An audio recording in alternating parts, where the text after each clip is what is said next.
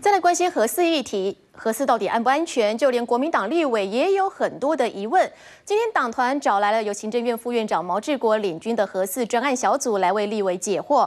只不过官员的答案似乎不能让立委满意，有立委就批评说了，官员的回答是避重就轻。另外也有立委吐槽了，说这些资讯他早就知道了。看来想要凝聚党内的共识并不容易。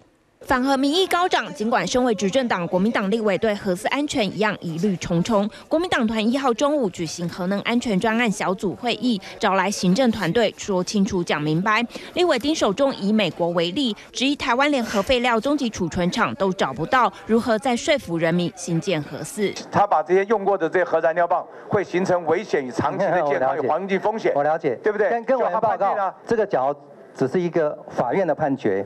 那其实也只是一个法官的的的意见，不见得代表就一定就是这个样子。那个是联邦上诉法院的终审判决了。对于何安的疑虑，立委大胆提问，官员也卖力回答，但以正唇枪舌战，官员的回答，立委似乎仍不买账。原能会主委所说的，我们可以信的话，不会走到今天。原能会台电所讲的已经丧失民心了。我们的问题都避重就轻在答嘛，那没有抓到核心核心的问题嘛。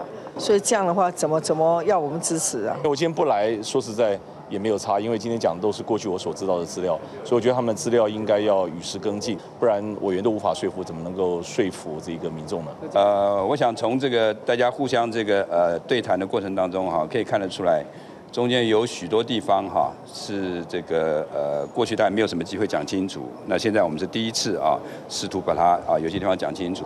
未来会利用各种各样的机会跟大众做说明啊。负责督导行政院核四专案的毛志国肯定这次行政立法的会面是一个好的开始，但立委可不是省油的灯，行政团队要争取党籍立委支持，恐怕还得再加把劲。有单 TV 陈明燕、李黄轩台北报道。